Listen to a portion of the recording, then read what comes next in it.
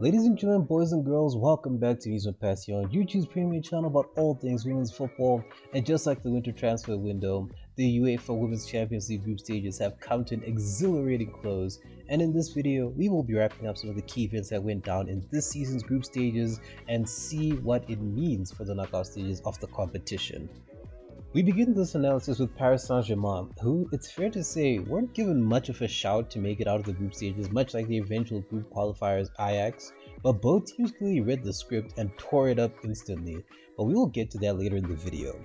PSG right now are of particular interest to me primarily because of how they were able to respond to the adversity of losing their first two games and being rooted to the bottom of Group C at the early stages of the Champions League. The manner in which they went about turning things around is best shown in their games against Roma in particular, who based on their scintillating football so far both domestically and abroad were expected to steamroll Paris Saint-Germain, who again refused to follow the script. In their two games against one another, PSG had to solve the problem of Roma's fiery and fast non-stop attacking style that was personified through the likes of Greggi, Giugliano, and Giacinti.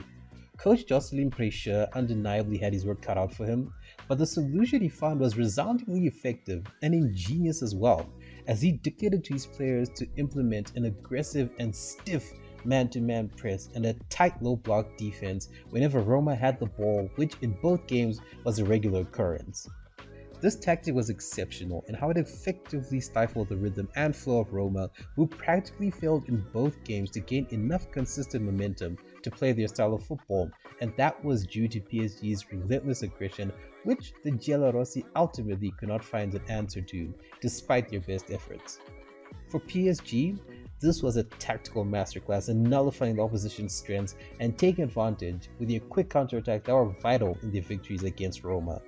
With this elite trump card now up his sleeve, Prêcheur and his players are early dark horses for a semi-final berth because depending on who they meet in the knockouts, they will have more than one way of asserting their dominance against opposition, whether it's through their regular game against a regular opponent or this aggressive defensive approach, which, at least in my opinion, does make them an interesting opponent, particularly for the next two teams we are now going to talk about. Recent winners Olympique Lyonnais and current holders FC Barcelona are undoubtedly two of the undisputed favorites to go on and potentially win the Champions League, especially after they effortlessly topped their respective groups, albeit with a few unprofessional wobbles during the campaign given the level that both teams operate on at the moment. This is in particular towards Barcelona, who are on the verge of exiting the group stages with a 100% win record till they got outplayed, outmatched, outclassed in their final group game against Benfica, who in all honesty deserved to win that game 10,000%. Despite that though, both Barca and Lyon are going to be a tough opponent for whoever draws them in the knockout stages, but just because they're tough does not mean that they are unconquerable.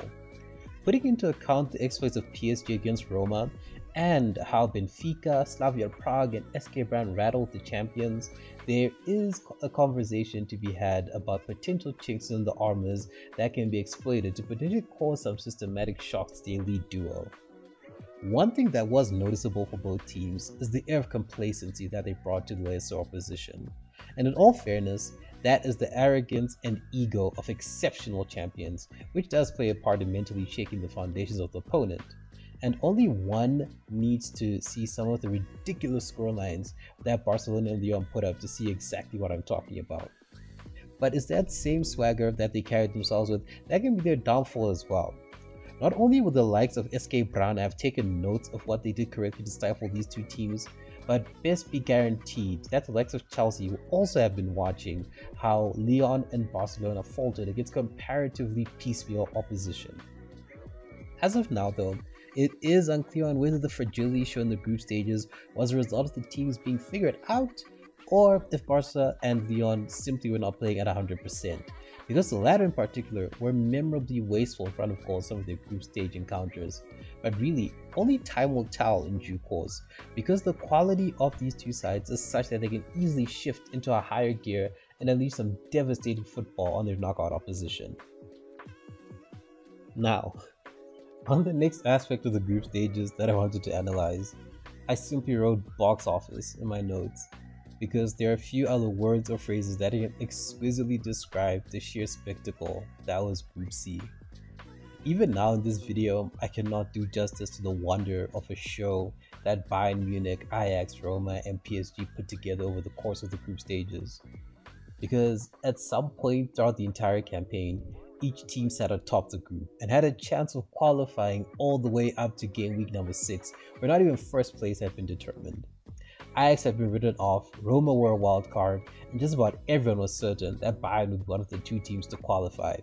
But it's fair to say that the turbulent nature of the group ensured us that there would be shockwaves all across the board. I've already touched on PSG's genius in the group against Roma, but a special mention must be made to Ajax, who defied all the odds to qualify for the knockouts.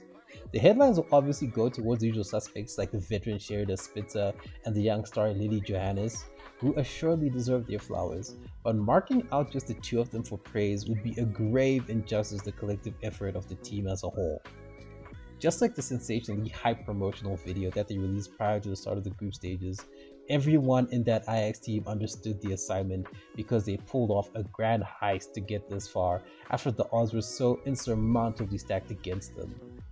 Given that it is also Coach Suzanne Bakker's final season at the helm, there are few better ways to sign off than masterminding a grand money heist that if all goes well, or even goes to plan, could see Ajax pull some grand scheme that could pay dividends in the form of a spot in the finals. The foundation that Bakker has set up at the club will be a good launching pad for a successor to help carry on this exciting team for years to come. Because whilst they are dropping jaws in Europe, they still have a ways to go before they can start competing effectively, at least on a domestic level, against FC Twente in particular. But the present and future is promising for the Amsterdam outfit, that's for sure. Another shock that came out of Group C was the shock elimination of Bayern Munich who, along with Eintracht Frankfurt, who also failed to qualify, mind you, were the sole representatives of Germany in the Champions League. Now, this is less of an indictment on the league itself because there is elite quality in the Frauen Bundesliga from top to bottom. But maybe, just maybe, it shows that Bayern are yet to really be considered a top continental contender because genuinely speaking, they were arguably the best team in all of Group C pound for pound and even on paper, especially with the performance that they put on throughout the group stages. However, on more than one occasion though, they did admittedly fail to take control of their games or to even finish off their opponents, which ultimately resulted in them getting pegged back on more than one occasion by the likes of Roma and Ajax.